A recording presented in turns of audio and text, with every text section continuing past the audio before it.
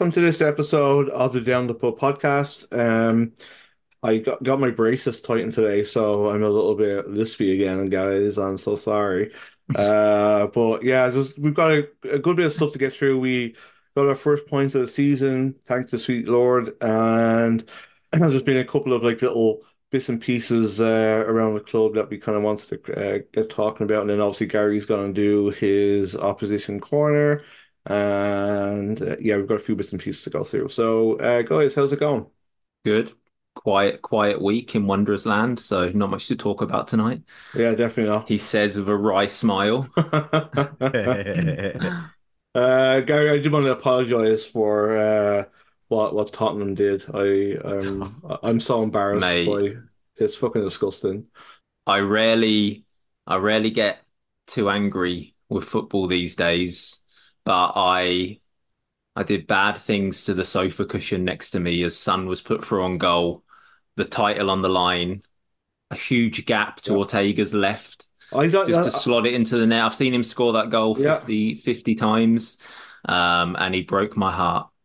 Yeah, I saw Right. I, saw the guys over on uh, AFTV like uh, basically saying he did it on purpose, which is bullshit. It yeah, just- he did. He didn't do it on purpose. yeah, he just yeah. You're, it. you're right though. When you're watching it, you can see like it was just such an easy slot to the keepers left. But uh, yeah, I just like like Ange afterwards, like you know, this club just seems to do stuff to people, like to good people that make them uh angry at the world. And we saw it with Conte, we saw it with Jose, we saw it with Poch, we know we're seeing it with Ange, where uh the fan base and and uh to well to a lesser extent to the fan base, but the the owners like just bring this out people and uh yeah, it was just gross. Like, are you watching Arsenal as we're losing 2 nil and all that kind of stuff? Like, I, I, I don't like to let I don't like to let Arsenal live rent free in my head. And like, I actually couldn't give a rat's arse if Arsenal like if Arsenal win the league, who cares? It is, whoever wins it deserves it, right? So Mm. I just wanted us to go out and put a performance in because we've been shit. Like we've lost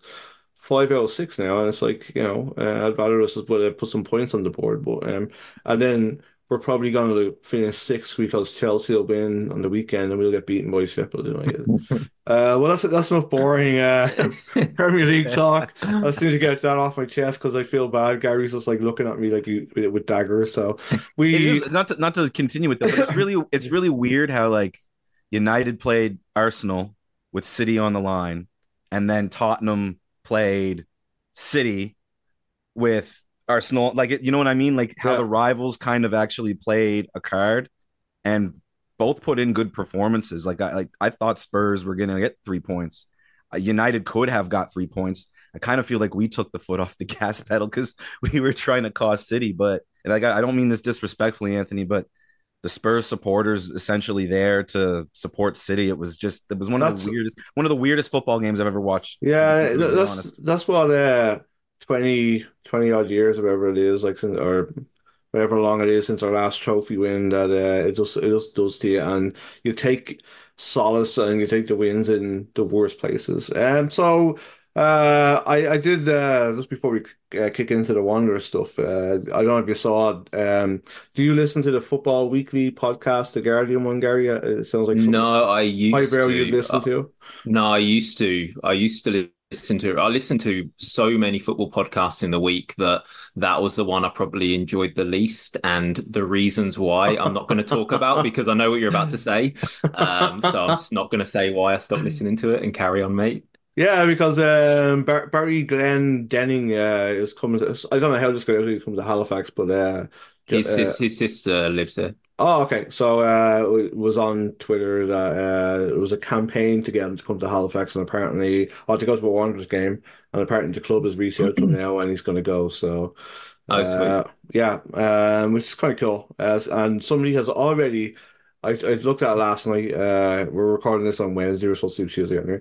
Uh, but somebody had already updated the um the wiki Wikipedia page for him that and it said in 2024 he went to a Halifax Wanderers game. I know somebody went to the effort of, of doing that. So Well, I know, I know, I know. Denton is a free, Uh, uh, frequent Wikipedia So the- editor. You took the words out my mouth. I was gonna say it's got to Yeah. be Denton. It's got to be I, Denton. I I really hope it is. Uh, so uh, Chris, I'm gonna I'm gonna try this this one to you. Uh, uh, let me see if I can do this.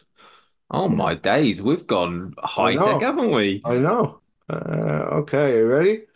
Let's see if this works. Josh, unfortunately, I come from a different world. I feel like it hasn't been a hard week. I think it's you guys that are destroying these poor guys. I think there's a lot of negative comments, and we're not playing poorly. Um, I have to remind everyone that's the league champs by 13 points. And we missed five big chances. So I'm not going to go on this is a step in the right direction and all that stuff. I, I'm sorry, man. That's a great effort where you have a goal disallowed. Um, you had five big chances. You hit the crossbar, and that's a valiant effort. So what's in the past is in the past. You guys can destroy these guys by all the comments that are made. It's all on me. If we lose, it's on me. But I'm going to protect these guys and stand by them. They're good boys. They work hard. It's not always going to come off, but our job is to support them. Um, I think it's really difficult to say supporters without support. Chris, what do you think that? Like, just I just wanted to make a little aside there that uh, it was Josh Healy who was asking that question, like the Wanderers uh, notebook, and I don't think any of it was aimed at him. Um, I just think that he was the unfortunate one to ask a question first. Uh, but uh, what what what did you make of it? Um, I don't want to get down the weeds with it, but I think it's definitely something that we need to uh, to address. Like I said to Andrew on Twitter the other day, hundred percent see where he was coming from. Was not a fan of the execution. The reasons I wasn't a fan of the execution first, the generalization. I, I know Pat listens to the show, and and I will cross paths with Pat in the coming weeks and months, and maybe we'll talk about this. And like he said, the past is the past. Maybe this will be the last that's ever spoken of it. Um, but for every detractor, there's a dozen or more people that are supporting the club. Um, I've said to you guys off the air, I agreed with a lot of what he said. Um, he is right. In context, that is the best team from last year in its totality. The performance might not have been great. He says it wasn't a step in the right direction. I'm not going to say I beg to differ. If he feels that the direction was already there, then that's power to him. Um, he has belief in his boys and, and he has belief in the character of the squad. But my only real issue was, aside from the generalization, was saying that we're destroying these guys. And I say we're as in who was Patrice talking to?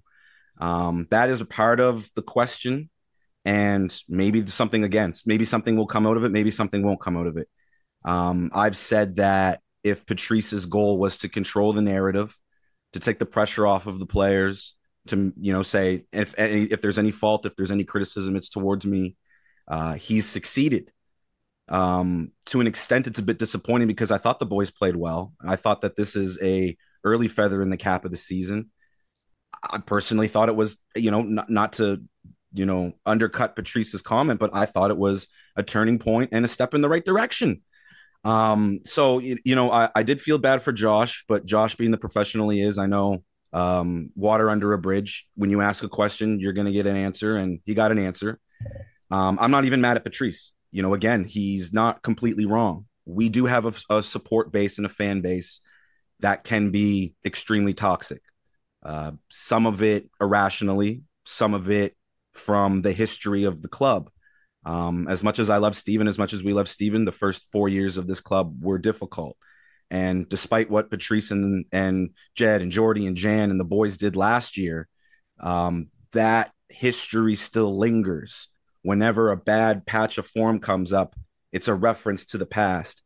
I'm guilty of it being back on the air with you guys over the last few weeks and months, even talking about how some of Patrice's tactics remind me of the Stephen Hart era. And I don't mean that as a slight. I almost mean it as um, a compliment that he's he's taken some of uh, Stephen's ideas and enhanced them and advanced them and has finally gotten uh, the best out of guys like Aidan Daniels, for example, Zach Fernandez. Not that Stephen didn't, but Patrice has taken that next step, which is what you want with the new manager.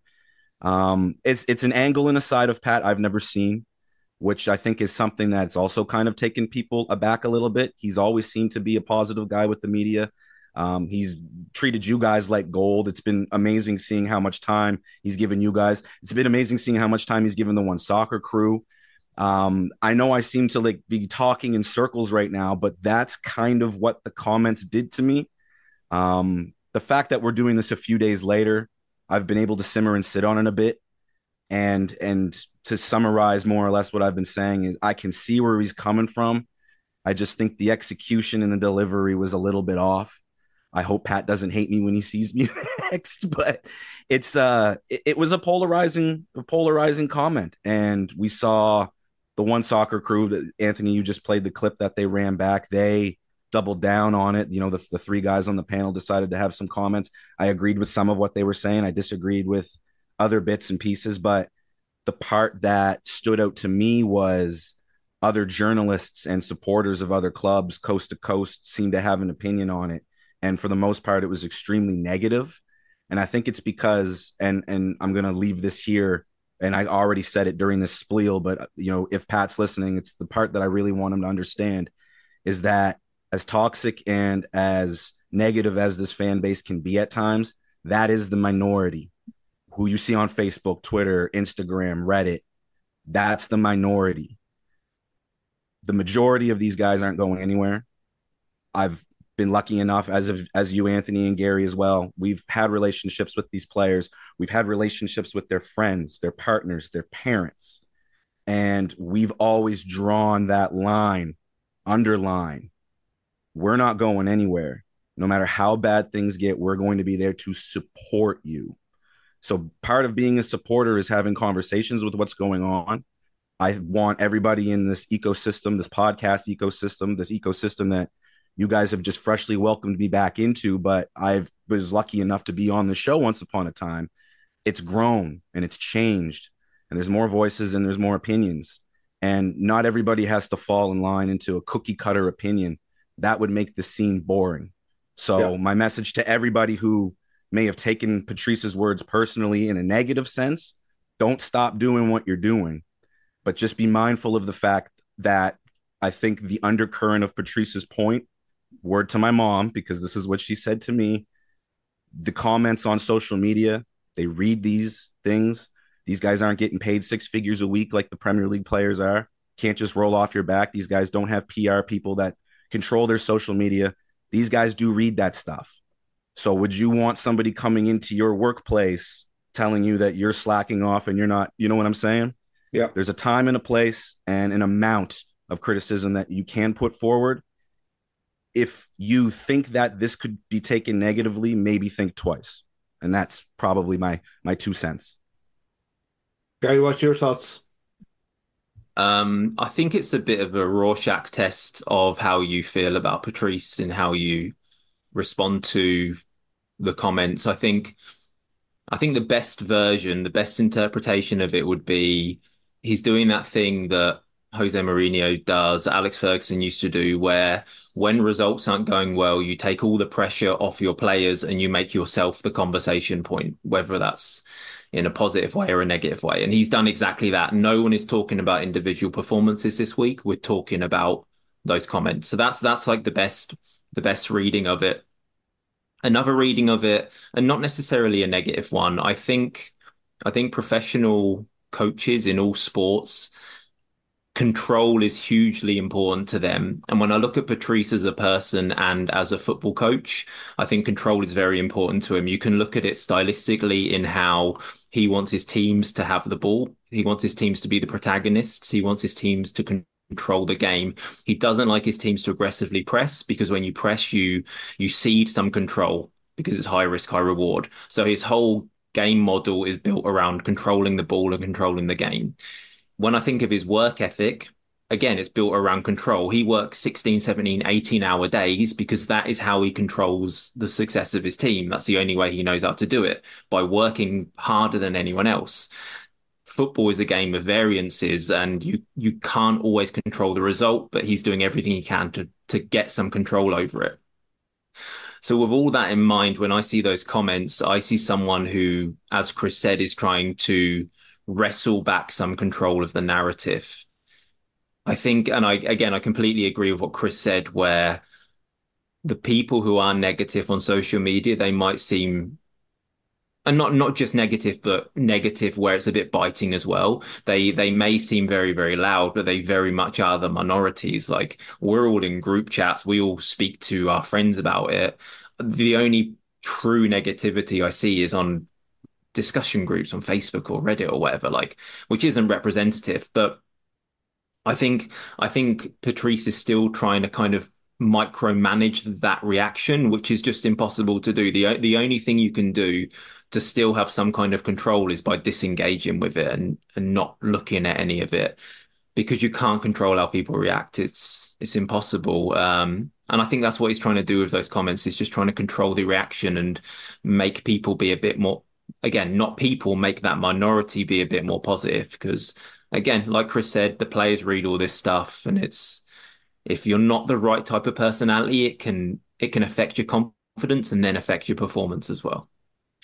Well put, lads. Um, I I don't have an opinion on. it. I'm just going to leave you two to uh, feel the wrath. So, um, but honestly, in Patrice we trust. You know, of course, I, I've I've said this behind the scenes with you guys. I've said it publicly. I said it last year at the start of the year when people were already calling for his head. This year, there's people already call. This is a man who is a genius, and he's learning his genius as well. So, the grace that our supporters have given players in the past, the grace that our supporters gave Stephen Hart for a long time, I feel like not only does Patrice deserve that grace, but last year he earned that grace. So. Oh, yeah again i don't i don't want to tell people to not criticize when they see things. I know that that's some people's outlet. It's some people's creative outlet. Look at us. Like and and again like the other podcasters and bloggers and such in the city you know don't stop doing what you're doing. But at the same time that toxicity it can be turned down and should be turned down quite significantly which is why like i said even though you know some of patrice's comments rubbed me the wrong way the basis and what he was trying to say and what he was trying to put forward, I do generally agree with, just because I've been that sword and shield for this management group now for six years, personally speaking. Um, and that's why the comments weighed heavy on me to an extent because I have put time, effort, you know, sometimes a waste of time um, trying to defend and trying to support. Um, you know, I just really, really, really hope Patrice realizes, like Gary uh, emphasized, that these loud people are the minority and they're a solid, solid minority.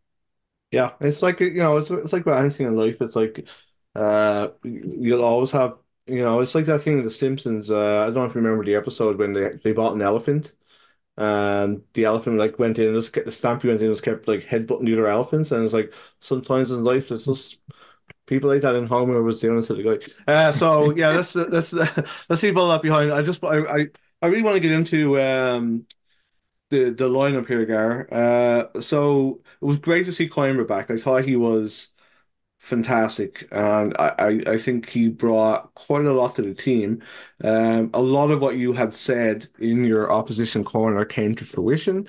I thought that Charlie Trafford was very key to the game. And when he went off, things changed quite a bit. Uh, and we also went back to uh, three central defenders at the back. So, what did you think of the question I asked you every week? Because I, I know you're um, a tactics guy. So, what do you think of the lineup?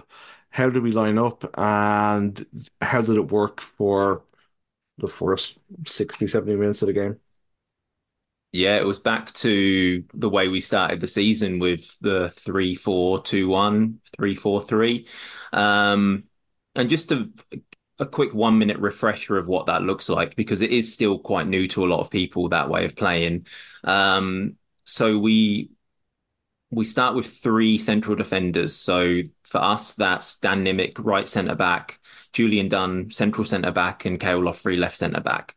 Then we have four. So those four are two holding midfielders. So that was Lorenzo, um, not Lorenzo, that was Jeremy and Rampy as our two holding midfielders. And then either side of them, we have our wing backs. So on the right, that's Zach Fernandez. On the left, that is um, Ryan Telfer, interestingly. Then in front of that line of four, we have two number 10s, and they play quite narrow. And that was Massimo Ferrin and Aidan Daniels. And then at the point of that, the tip of that, we have Thiago Coimbra, who is our central striker. And the reason a lot of coaches like playing like this at the moment is because by having those two wing backs up and down, kind of imagine them up and down on a conveyor belt.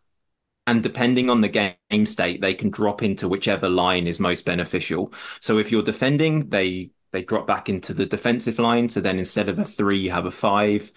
if we're kind of progressing and building, they can move up a line and be next to the two midfielders. Therefore, we've got a four there. Or if we're in an attacking phase, they can kind of be level with the strikers and the attacking midfielders. So we've got a five across there. And those two players down the wings, they just move up and down, up and down, and they they kind of click in wherever they need to be at any given time. Um, a lot of teams are playing like this at the moment. I think it's a way of of kind of being dangerous on the exterior and also being quite kind of meaty in the middle of the pitch. But again, as we were saying last as we were saying last week, as as much as this is a new formation, the principles are still the same as last year. It's still it's still a 3-2 build and it's still a three box. There's still a box midfield. It just exists without anyone moving from wide areas and inverting. It exists outside of that. It just exists as it is. Like you don't have to move anyone anywhere to kind of form that box, but that's still there. The only change is kind of what the wide areas of the pitch look like.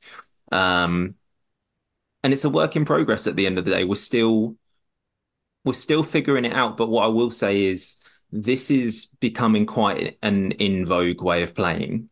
So the reason Inter Milan have been so successful is because they play like this. The reason Bayer Leverkusen have been so successful is because they play like this. The reason Crystal Palace have got so much better lately is because they play like this. So when you've got all these coaches kind of trying to think of a way to move away from the peppy sort of four two three one, this is where a lot of the coaches are going. Um, but it is still a work in progress. And do you think that uh, the personnel that we're we're putting in is are the right personnel for what we're trying to do? Um, on on the right side of the pitch, yes, because I think Zach Fernandez is born to play this position. He's born to be a right wing back. He's wasted if he's a right back who defends, and I don't think he's I don't think he's quite subtle enough to be a pure out and out right winger. His his strength lies in overlapping and having a lot of space to run into. Um, so it's the right side of the pitch definitely. The left side of the pitch to be confirmed, to be honest. Ryan Telfer has been playing as that left wing back. I think um, Riley Ferrazzo has given it a go. Wes has given it a go. I think in general, there's there's a it's overstating it to say there's a left-sided problem that we have. I don't think it's a problem, but it it needs a lot more work than the right side of the pitch. Um, Massimo Ferrin's best position, if we play 3 4 2 1, I, am still not sure of. And I know we've talked about that before. He started as a left 10, a quite narrow left 10. And I think he had a really good game. But again, when I think of Massimo at his best, he starts high and wide on the left and then cuts in aggressively. And does he have the spaces to do that if he's playing in a kind of in the left half space in a smaller area? I'm not sure. I but again, I still think he was probably our best player on on Saturday, to be honest. So defensively, we do have the personnel. I think those three central defenders are built to be in a to play in a three. I think it really hides some of the limitations that some of them have by allowing other central defenders to be the ball players and the builders. Um, are we going to get on to talk about Lorenzo, by the way? Lorenzo and the centre midfielders and that kind of because that's will. another. Oh, we will. Okay, I won't make this the point I was going to make. Then I'll save it. But um, yeah, yeah. Like I, thought I thought, um, just uh, uh flipping back to um, do, do, like uh, the the defender. I thought this was during Dunn's best game for us. I thought he was excellent. Agreed. Um, I, I thought that. Uh, as you said, like have a Massimo there from the start. Uh, big difference. Um, and it, it, the team just felt a lot more settled. I think that Patrice's point that he was making that this team won the league by 13 points or boy like last year. You could see it. They were they're a really good team and like they they kept the ball really, really well. And I, you could see there was frustration, I think, uh, kind of, I think maybe that's what he's alluding to too, around the kind of stadium where we didn't always have we didn't have the ball that much. We were kind of chasing shadows for like a little bit, and um, as you mentioned, Charlie Trafford was definitely a big part of that. Like he was he was excellent, but you know the, the thing, Chris, I want to get your opinion on is like you know the, the goal was a, a, terrible goal that we gave away. Uh, it was. It, everybody's just caught sleeping. Basically, it was a brilliant ball in, but we just got got caught sleeping. But the response was really what we needed. So I just kind of go I want to get your your your opinion on did we change things to make that response, or was it just like characters just stood up and dragged us to that? Because you know, towards the end of the game, we were de most definitely like the the better team. I think that's the that it was like a double response because not only was it was the response to the goal, but the Nimick disallowed goal. Everybody's head could have went down. We all of us in the crowd were angry. You know, maybe we'll talk about officiating after, but the response to that was almost like it felt like two goals. And, and you know, you talk about how the season started, point free. Some of the people behind me were like, "Okay, we'll take this draw. We'll take this draw." Yeah, hate to say that, but that was the mentality of some people, and that release almost felt so so good for the crowd because yeah, we got one against Ottawa, yeah, we got a couple against Saint Laurent, but they came in and uh, in a more negative. I'm trying to think of the right word, cloud. I'll just use the term cloud. This one felt like a boost because of what you said. I think leading up to the goal, even I think even Calgary's goal, to be completely honest, was against the run of play. Um, they when they made the Charlie Trafford substitution, having Camargo and Daly just basically running free in the center of the midfield. I I had I tweeted on Twitter and even mentioned on Facebook the midfield battle in this game was exceptional. Whether it was Shamit Shome just kind of running around doing his thing in the free roll, Charlie was basing things, and then when Charlie went, Shome took his spot. But the triangle with Camargo, Daly, and Shome was really really difficult to stop. And like you said, Anthony, it was that one moment. Then Cavalry showed their quality, got the goal. But for the majority of the time, I thought that we handled their midfield quite well. So we were talking about, you know, how are we going to do without Lorenzo?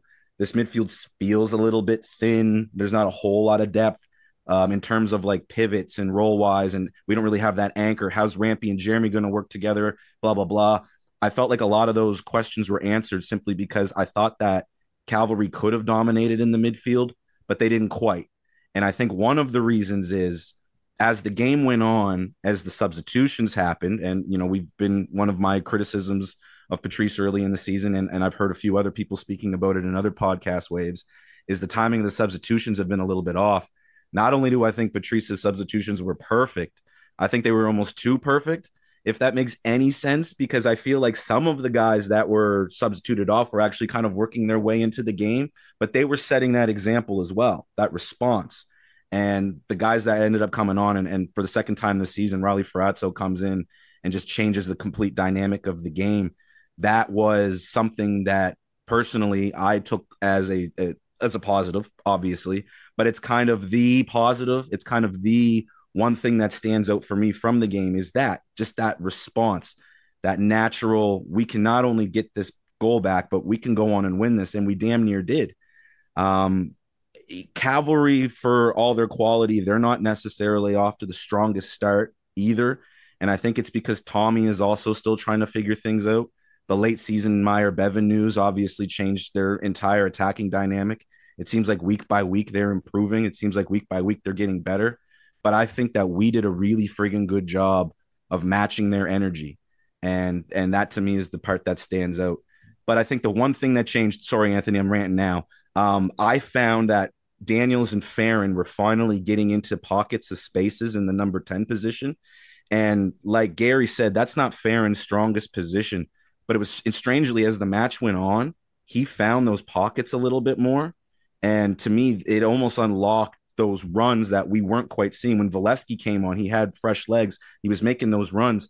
Telfer was able to overlap. I honestly thought that this was Telfer's best game um, so far, especially playing out of position. He didn't seem to put his head down. He he was tracking back, playing well defensively. I just think that what we saw was the same tactic from the start, like Gary said, but a belief in that system. And now we're starting to see that belief bear fruit. So um, yeah, long-winded answer, but I think the biggest change was once that pocket got open in the 10, um, the attacking uh, angle started to flow. Yeah. Um, so, so Gary, uh, just go back to your point there. Like, you know, the elephant in the room with this game and also your next game is going to be the, missing Lorenzo. And I think you can't not miss a player like that. Uh, it's, you know, he's uh, one, like one of our best, if not the best player that we have. But how did uh, Jeremy and Rampy step up to kind of fill the void that he left behind? I think Chris was right, and there was an exceptional midfield battle. Felt like a bit of a chess game at times. Sometimes we would sit Massimo Ferrin and Aidan Daniels on their two holding midfielders. Sometimes they would drop in their striker and one of their wingers onto our two holding midfielders. Jeremy got caught on the ball quite a few times early in the game because of that, because I felt like Cale was a pressing trigger for cavalry and Jeremy to an extent was as well. They were especially trying to like they were trying to angle him onto his right foot as well because they knew he wasn't as comfortable, especially when they're coming from behind him, releasing it on his right foot. He always wants to play it with his left foot. So they were kind of angling their press to, to attack him that way. And it had they had some success with it. Uh, and I'm just going to give you a little statistic here, which answers the question completely. Um, so Rampy and JGL on Saturday, between them, they played around 80 passes. Lorenzo against Pacific by himself played over 100 passes. And that tells you shit. exactly what you need to know. Um, and I felt like I felt like we started the game by still trying to use those two hold mid- holding midfielders as our kind of our conduits for for the game. We wanted to play through them still. But by Jeremy getting his pocket picked a few times, I think it spooked Jan and I think it spooked the centre backs a little bit. So we started to go a bit more direct and Cavalry started to go a bit more direct as well because we were spooking them in the same way. Um, we were closing their holding midfielders down a bit as well. So I felt like as the game developed, not even into the second half. I think this started to happen in the first half. Both teams started to go a little bit direct, and it became became a bit of a second ball game. And what I mean by that is instead of being a game where you play one touch when you play on the ground, it became a second ball game in that you kind of go more direct into Telfer, for example. You trust him to win it. Or at least kind of knock it down into an area where you can win your duel, and then you try and win the second ball. And that became the pattern of the game the more it developed. And I actually thought we did quite well in that because Telfer's pretty good in the air. He's not the he's quite stocky, but he's pretty good in the air. tiago's fairly good in the air. I think he I think I think there is a development point for him there in the air, to be honest, because considering his size, I think he can be better in how he in how he prepares, like his preparation before the ball even comes to him, I think can be better in how he separates from his marker, how he kind of angles himself to be in an optimal position to win the header. There's a development point there, but he's still pretty good. So I I think to get around Lorenzo not being there, we went a bit more direct is the the too long didn't read on that. I I think the good thing with that though was it brought like some of the best moments of the first half when it was a, a good old style football game where it was a bit of a attritional in the middle where we had like a spate of yellow cards. Charlie Trafford was being a bit of a shit house.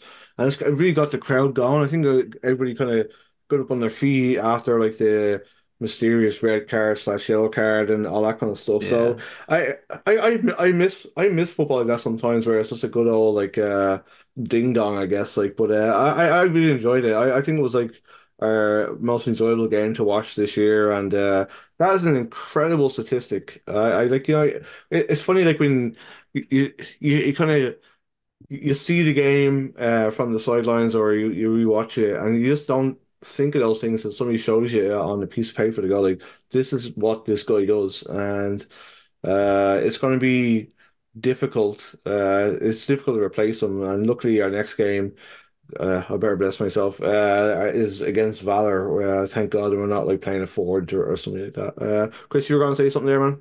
Yeah, just real quick about the red card. We had no clue in the front of 104 that she reversed the decision.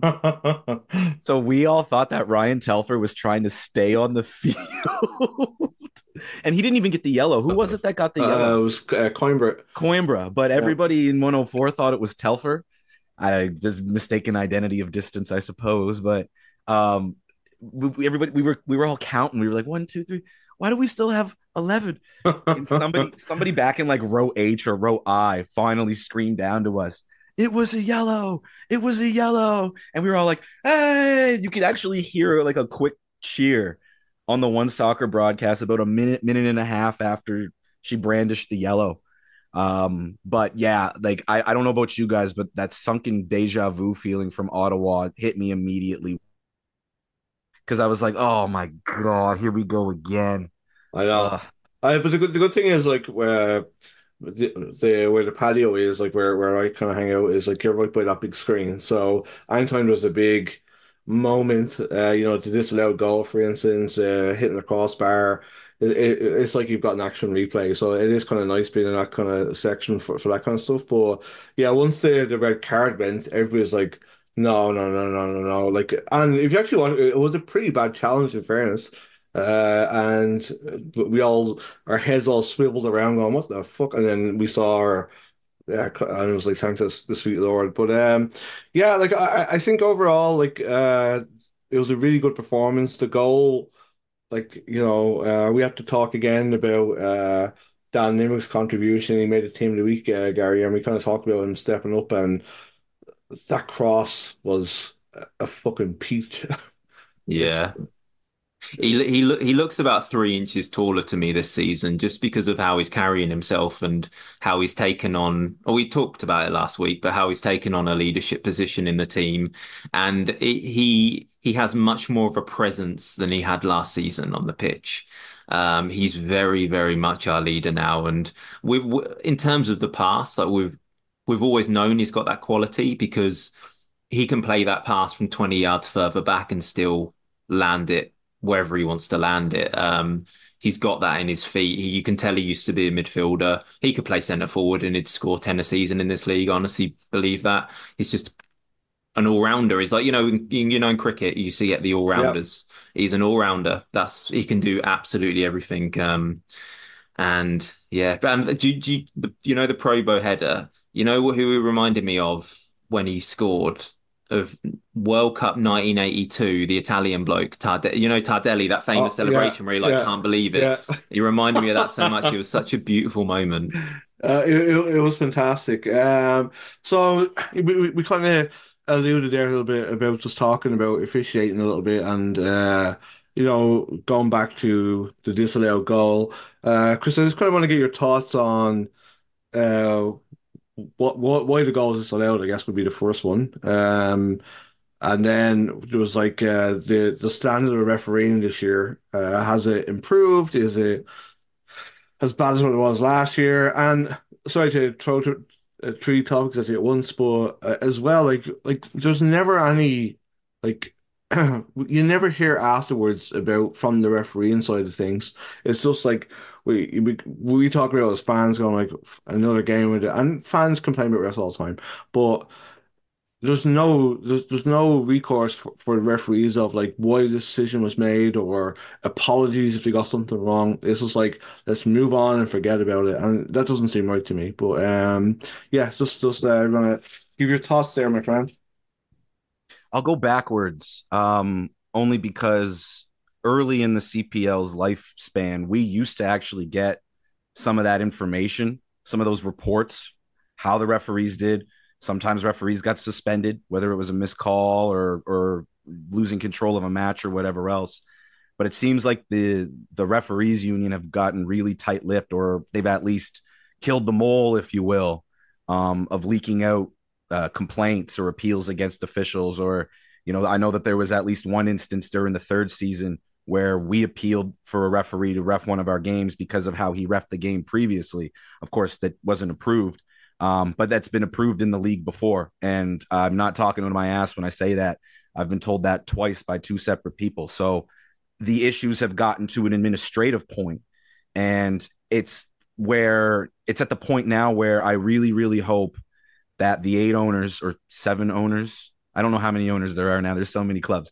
Um, but the the ownership groups with the relationship they have with the CSA are having weekly conversations about this because we need some kind of I I can't even think of the word, but like some sort of inquiry. Like I, I I don't even know what you would what you would call it, but there needs to be a stripping down of what's going on with officials in this country because it's not only the the CPL, but there's an aspiration for us to not only have Canadian players in some of the biggest leagues around the world, but to have Canadian refs refing in other leagues and refing in international tournaments. And we've had that over the last couple of years, but not to be rude, some of the worst officials are the ones getting those assignments. So is this an issue in every country? Or is this a CPL issue that's really exasperated because you know we watch every game? We've seen you know the, the Ryan the Ryan Moore situation right now. There's no footage. There's been no actual explanation of why he got the red card, and there's been no explanation why the appeal wasn't approved. So he has a three game suspension. But you said it, Anthony. There's no there's no recourse. There's no review. There's no publicity. Um, in in in a way, we've been spoiled by other sports. Um, the NBA actually has like a last two minute committee, and they come out publicly and say we were wrong, we did this, we did that. They even have a precedent set where they've started a game from like two minutes left the next time the two teams played because the referee's decision in that previous game was so bad it affected the outcome. Um, there's, I, I guess, in a way, more of a transparency in other sports because they have instant replay, they have VAR.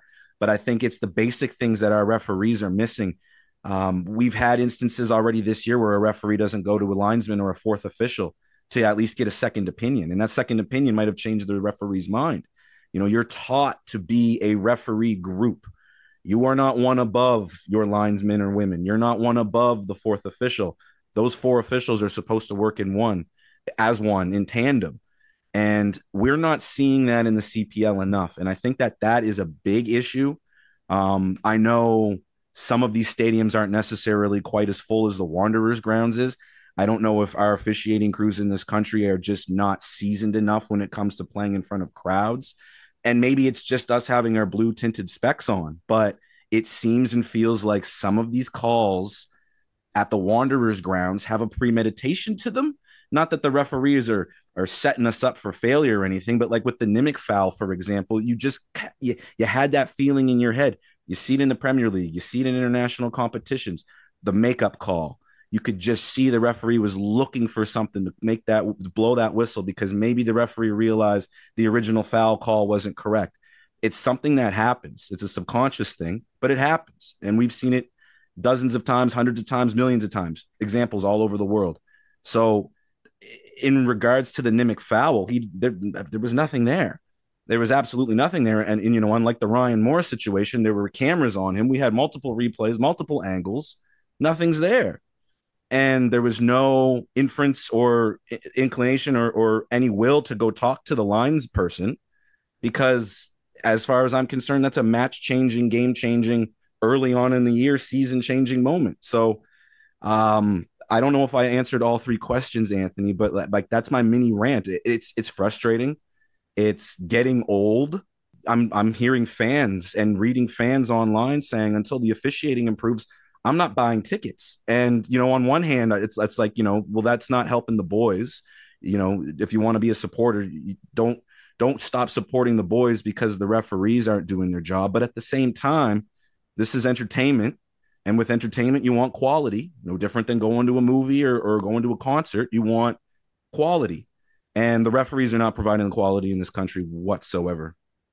Yeah, I think, you know, um, it's been said before, and, um, you know, it's still a young league and everybody's like growing together. But as Christian Jack said in response to Patrice's comments, you know, like, uh, if we want to grow this league and for it to be taken seriously, um, you know, there's certain things that have to happen. Uh, the media is one of them, and being able to ask critical questions, and also having a, a, a, being able to question officiating when it's not correct. And we're not here, uh, you know.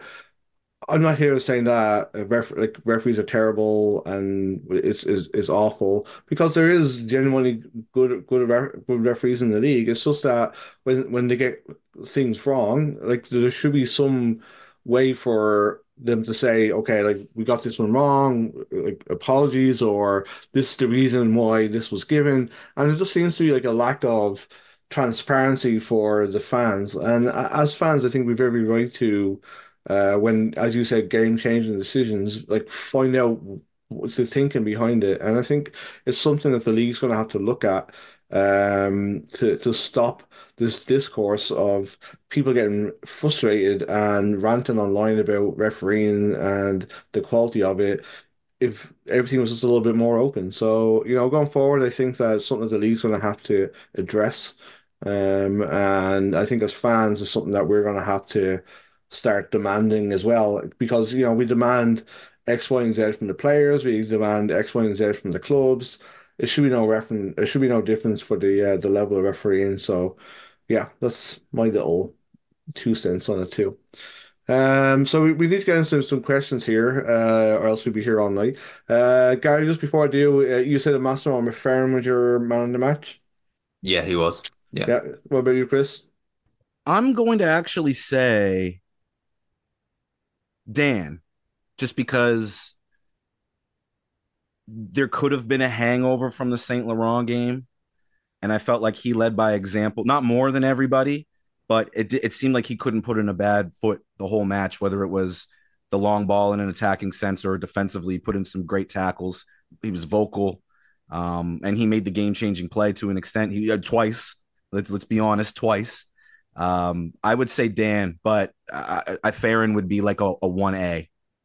I uh, I know that Gary hates uh, goalkeepers, but uh, I thought this was uh, a great game from Jan. He made some really important saves. Um, uh, the one in the first half there, especially, was fantastic, and I think that um, off the back of was saying and other people saying that he's not had the best start of the season. I thought this was uh, back to his old self, and I think that he deserved uh, my man the match. So, uh, first question, uh, Gary. Um, this is this is from CB uh, Keeper. There's two questions, so I'm going to give them to you both because one, uh, yeah, I, your favorite club to talk about. So, uh, can we talk about how Halifax continues to crush attendance figures in the CPL, in spite of claims of being the best fans in the league by a certain delusional fan base? Uh, based in the capital. Uh, others can draw similar numbers in spite of uh, rainy day refunds. What's the issue? So we, we kind of we kind of talked this a little bit like last week when we were talking about uh, the CPL on tour. Uh, but you know we are seeing dwindling numbers in in a lot of the markets. Uh, what do you think? Do you think this was the early season blues and weather is not the best, or what do you think's going on there? I haven't have, absolutely haven't got a clue, which doesn't make for good podcasting, to be honest. Um, I I I know I've lived here for six years. I know I feel like I know Nova Scotia and I know Haligonians quite well. Um, what makes them tick, but as for the rest of the country, I've got absolutely no idea. Um, I I I, I obviously we come from places and which are completely dangerously obsessed with the sport. And from London, you've got however many clubs in, well, it's a high population, but in a small area, and they all sell out. Even like even a conference team in London would sell out. So in terms of my background, that's just normal. That's what people do. But I, I say that completely understanding that this is not even, I don't know, would it be like the fourth most popular sport in Canada? Yeah, I imagine. I'd say yeah, so, yeah. Baseball, yeah. hockey, basketball would all be, but and probably NFL, CFL as well. So maybe the yeah. fifth most popular sport. So yeah, I mean it's it's a it's a tough sell, isn't it? Especially in markets that are already quite saturated with sports teams. And I've I've heard Ottawa fans use that as an excuse sometimes as to why their their attendances are low. Because is there is there an NHL team in Ottawa? Is that yep, or, yeah, exactly. So, but I mean, it, it does kind of that, that I, I like I don't really like to get into those sorts of debates with the whole we're the best fans in the yeah. league thing it's kind of it gets a bit tiresome doesn't it if if you have to say something that much it's probably not true um if it is it kind of comes across as quite um defensive doesn't it and like they're trying to convince themselves like yeah we are we are the best fans in the league aren't we yeah we are we really are um but the proof is very much in the pudding there Sorry, yeah, that's you, not a very good answer, mate. I apologize. You, you think it's like uh, them clapping their hands at the ground, it's just them all slapping their backs at the back of the ground, uh, the, around the ground for turning up. Yeah. But but you know, Ireland's had the Ireland's different than the UK because uh, the, the League of Ireland's been underfunded for like a long, long time, and uh, a lot of the clubs struggled for attendances, and attendance has been up for, I would say, like since the pandemic and just before too. Uh, and it's because they're reaching out to younger kind of late teens, early 20s kind of people as part of the culture of it all. Um, and the project on the pitch has got a lot better too. Um, and I think here, uh, as I said, there's a lot to go up against. In Ireland, we've also got Gaelic football and hurling, which are two massive sports as well, and rugby. Um, but you know, I, I think that maybe here they tend to focus in on the family aspect of it. Um, and if it's pissing and rain, uh, a family isn't going to go to a game, which is why I think Galway came along and did this rainy day refund, and they've had really bad weather for the majority of the game so far. So I think that's part of the reason. I think coming into the later part or the middle of the summer, it'll get better. To be perfectly honest, and yeah, uh, you, need to you need to like you said identify people who do market research need to identify with a casual fan why they're not why they're not coming. Like I, I was listening to a podcast the other day and it was kind of it was about football in the 80s. And in the UK, football in the 80s, there was a massive, massive attendance drop. Like even Arsenal were down to like 12, 13,000 supporters coming. And it was a very, very obvious reason why. It was because hooliganism has got so bad that it was dangerous going to games in the 80s because you yeah, could get stabbed or punched, or it was just a horrible environment. So the governing bodies, they spent 10 years addressing that for better and worse. Like ticket prices have gone way up as a result of that, which is again good and bad. But they addressed hooliganism, they identified the problem, and then attendances shot back up after Italia 90 because the grounds got safer. So I don't know what the reasons are why why the games aren't more popular, but market researchers, the great business minds of the league, they need to identify that and work backwards from that point. I'm not gonna lie, I'm surprised by the success of the Wanderers, only because, and I'm not hating on Halifax, the market, but being a Moosehead season ticket holder myself for about a decade, and I worked with the club as well, doing 50 50. I've seen the ebbs and flows of the Mooseheads. I've seen that rink with almost 11,000 people in it. I've also seen that rink with just over 1,500. We're a fickle city. It's why professional basketball has come and gone. It's why we've never been able to actually bring a minor league baseball team here, despite there being rumors for like 20, 25, 30 years. It's why minor league hockey doesn't survive here because minor league hockey is literally based on ticket sales. It's the only way teams can survive. And if a team's not playing good, Halifax hasn't traditionally been a team to support a non-winning program. So I give Derek and everybody that he's hired, including our friend Marvin, Dylan as well. I, I, I, mean, we could talk about what Dave has done for the club. You look at what Trevor and Jeff are doing from a more hands-on aspect, and then everybody else around. I'm forgetting millions of names probably. The people that Derek have put in place to promote, push, and build this fan base they all deserve every award that's available to them. And I do foresee a time in the future, whether Derek sells off the club or whatever happens, that he will become a commissioner and or president of some kind of entity. Maybe he'll still own the Wanderers, but be in some sort of sports and entertainment field. Maybe SEA is going to be the leader in, in national promotion.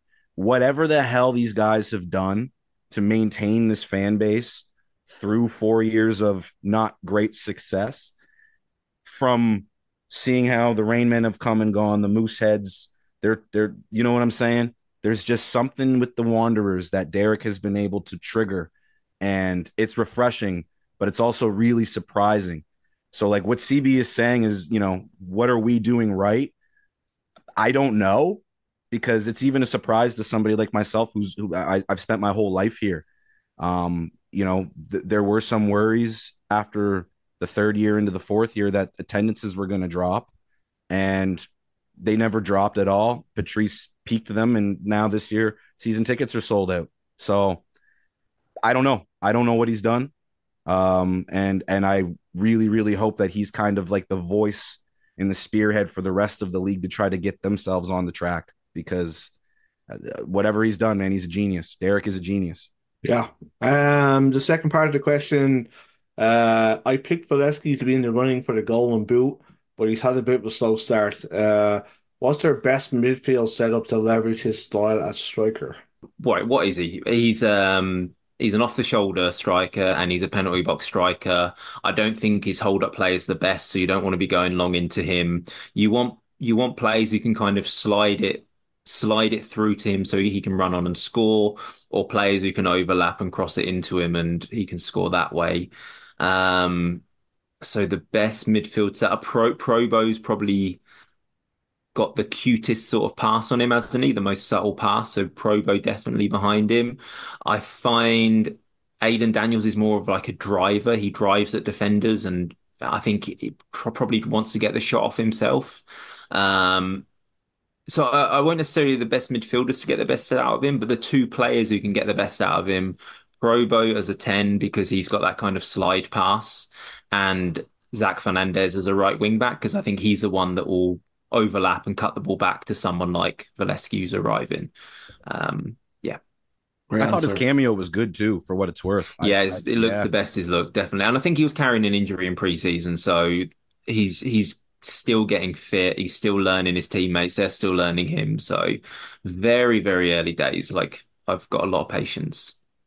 Yeah. Um, this one's from uh, Derek Simon. Um, you kind of touched on the first part of his question. Um, this one, uh, so aside from the subs, what changed the game? We kind of we kind of talked a little bit about that, but uh, how do we replicate how we played, I guess, in the last 20 minutes uh, over 90, Chris?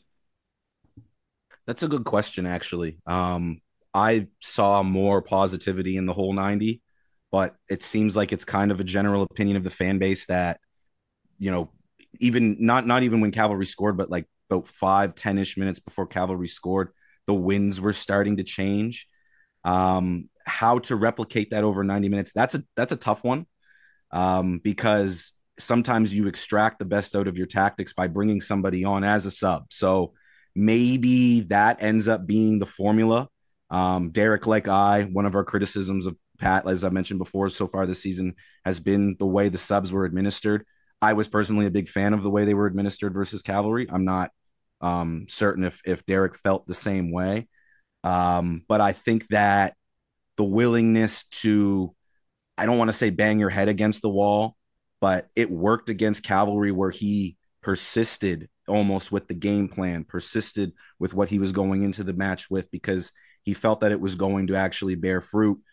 Against Pacific, it should have had we should have had a goal or two. You know, I, I can go game by game. We've done it 101 times, right? Um, so I think that even though the players are learning each other, the players are chemistry, I think Patrice is also learning how to coach these guys. So finding that bridge from halftime to about the 60th, 70th minute.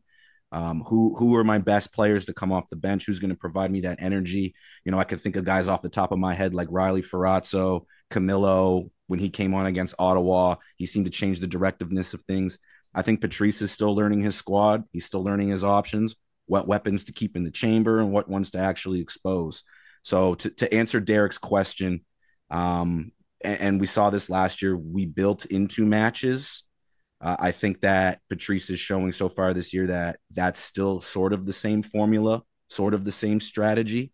So once the the tactical base and everybody's a little more comfortable with that tactical base, and it gets a little more solidified, then maybe we see those risks that Pat's taking later in the match. Maybe it's last ten minutes of the first half or something, right?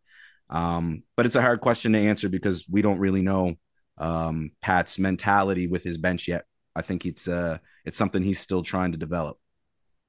Good answer. Uh, this one, Gary, is from Josh Laska. Um, he got his questions in early this week. So this is actually a good question. Uh, given context, is Probo's goal one of the biggest for the club so far? Yeah, I think you could I think you could argue it is. I mean, how would we all be feeling now if we were looking at five defeats on the bounce? We'd be feeling pretty terrible. But instead, we got a draw against the team that won the league again, like Patrice said, by 13 points last season. And suddenly everything's feeling a bit rosier. We're playing a team that's very beatable on Monday. If we beat them, we're on four points, only, I think, two points off a playoff spot. And it's, it's funny how quickly your life can change, isn't it? And how suddenly we're a, we're a contender for the playoff spots again instead of being rooted to the bottom of the league. Um, so yeah, it's an it's an incredibly important goal for morale, for points on the board, for league standing. So yeah, I think that's a good I think that's a good shout. And then the second part of the question, Chris, uh, thoughts on the difference Coimbra makes returning as the nine? Kind of touched on that a little bit, but uh, just your thoughts. Yeah, once he gets into form, it's just a different dynamic. It's a it's a pardon the the term a beefier pace. He wasn't scared to actually get on the heels of the center backs. I thought he gave Cobbs a a, a big issue. Cobbs is an incredible player, and he made him feel uncomfortable multiple times. Um, I do feel we talked about this in the chat. Um, Patrice has done a really good job harnessing him because we've seen him in training, we've seen him in exhibition matches. He is a bull. I'm t- stealing a term from you, Gary. A bull in a china shop. He just wants to put his head down and run after that ball. And if he takes a foul or even takes a yellow card here or there, he's that type of player. I saw maturity. Um, we didn't really get to see him as much as we wanted to last year. Uh, but I saw and kind of recognized it during the preseason, um, whether it was the training sessions or the the friendly matches, the exhibition matches, that there was a maturity there, a more of a patience there, and we kind of saw that uh, against Cavalry, where it's really easy to get. I don't want to use the term bored, but anxious almost, and make that mistake. And I saw at times Coimbra even pointing to Ferrin and Daniels putting them into positions, making sure they're in the right spots. So if he makes that commitment that someone's there, I was really, really impressed by his performance. You could see that there's still maybe that step off, that timidness. His finishing isn't quite as crisp as we all thought it was, but as a young striker, finding where to pull the trigger and how to pull the trigger, that's something that just comes naturally and obviously comes with more game time, more playing time. Um, the striker position has been a volatile one, similar to left back. It seems like Pat's still trying to figure out who, what, when, where, and why.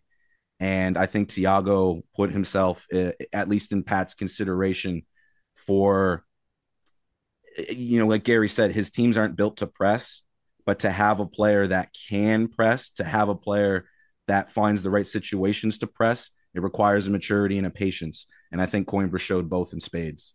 Awesome. Um, so Gary, uh, opposition corner.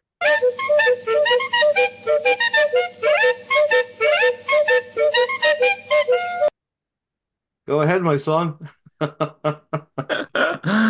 Outstanding. Um, okay, thank you, ladies and gentlemen, once again for joining me for an episode of Opposition Corner. This will be a short one because, um, I, I full disclosure, I watched the first 20 minutes of York versus Valour on my lunch break yesterday, and the entire opposition corner is based on those 20 minutes. So just that disclaimer in place. Um, Valour are a 4 2 3 1 team, much like Cavalry. Interesting thing about Valour is that their off the ball shape is exactly the same as their on the ball shape. This isn't as common as you probably think it is. Most teams, if they're a 4 2 3 1, on the ball would become like a 4-4-2 or 4-4-1-1 off the ball. Valour do not do that. They they stay exactly as they are in a 4-2-3-1 shape. Very easy to see. I, I encourage anyone who has time, watch the first 20 minutes. It's it's they're very structured. That's what you can say about them. Um, a benefit of that is I think it's quite easy to play around and through that 4-2-3-1 structure. If if you if if you kind of bypass the holding midfielders because the holding midfielders will have three Valour players around them, so bypass them and try and play into your tens. They should have a lot of joy. Um, I would lay money on the fact that our centre backs will have the most touches in this game out of anyone. Our centre backs are going to see a lot of the ball because Valour, like us, they don't really press. Their um, their PPDA, which stands for passes per defensive action. So, how many passes do they allow the opposition to play before they do a defensive action to win the ball back? Is 15 passes, which is, I think, the most in the league. If you look at someone like Ottawa, who are the pressiest team, their PPDA is eight. So they allow eight passes before a defensive action. Valour is 15. So they don't really press. What they do is they're kind of their striker just kind of ferries his way around. He'll kind of half follow the ball between the centre backs without ever really engaging. And it's at the second phase that they like to jump in when the ball kind of hits the central midfielders. That's when they try to press. So I imagine we'll bypass our holding midfielders quite a lot. I, I, actually see it becoming a similar game to the cavalry one in how we go a bit more direct and look for second balls to drop into our tens and and build from there. Um, at the end of the day, with Valour, I think we can, as much as we talk about tactics and systems and blah blah blah. Talent wins you football matches. So as good as Dos Santos is, and I think he's a very good coach. He reminds me of Alan Koch um, the old Edmonton coach, to be honest. Um, good coach in a bad situation, very good coach, very structured team. But at the end of the day, if you don't have the talent, you won't win many football matches. And I think, again, much like Edmonton, that's what's happening to them at the moment. We have better individuals, and I think we need to trust that. I don't think we need to overthink this game tactically. I think we can trust that our players are better than their players and hope that's enough to get us over the line. Awesome. Uh, thanks, Gary, for that. Um, just going to wrap up here. Uh, I did want to say um, the uh, the announcement of the Canadian men's national team uh, new head coach was very uh, underwhelming. A fucking FaceTime was was odd. Great, congrats to Angus McNabb who uh, quietened the, the haters down as being part of that uh, uh, team that brought in uh, a, a, top quality coach, I think. Um, I did also want to say um, condolences to uh, friend of the show and uh, York United assistant coach uh, Mauro uh, Eustáquio. His, uh, his father passed away, and uh, it's a very sad news. Um, yeah, um, looking forward to us getting that first win on the board. Um, I won't be at the game on Monday because I have to work. So, and I'm also like last Saturday, uh, they did a half price uh, gin spritzies.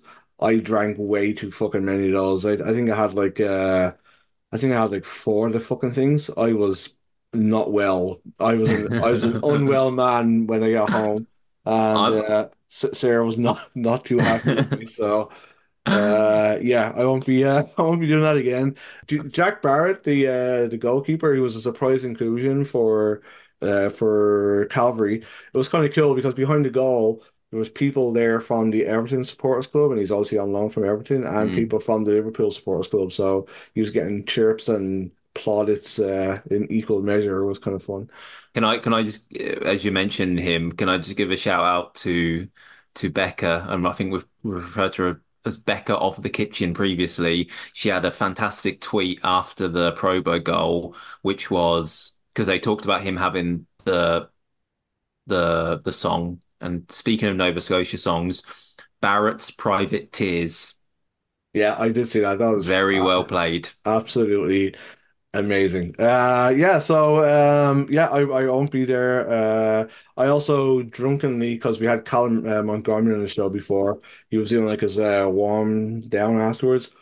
Colin, can we get a picture? And I, I, I think he literally wanted to go tell me to fuck off because I was being really, really annoying. So uh, apologies to Colin Montgomery. So yeah, I saw you. I saw your Instagram post afterwards. Well, your football friends. I know football friends. Oh, yeah, uh, my, my my my eyes look not the kind of glaze over. Uh, so yeah, so um, great show, lads. Appreciate you uh, hanging out, and uh, come on, you Wanderers.